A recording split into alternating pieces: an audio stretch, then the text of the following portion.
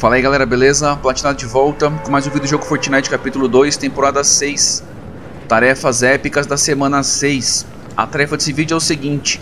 Conclua a prova do tempo de natação no Bosque Choroso ou no Castelo do Coral. Segue o local, para quem ainda não sabe, aonde você consegue concluir a prova de tempo aqui no Bosque Choroso.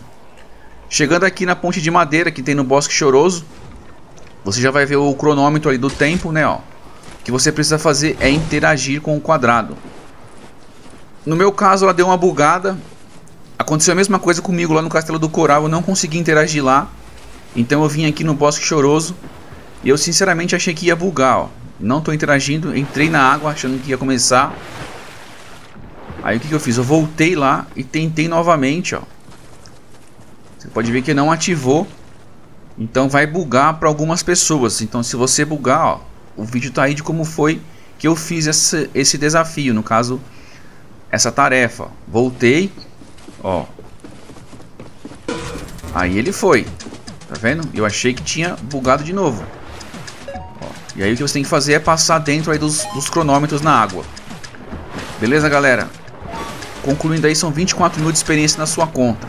Espero que eu tenha ajudado vocês. Vou ficando por aqui. Abraços e até o próximo. Valeu. Tchau.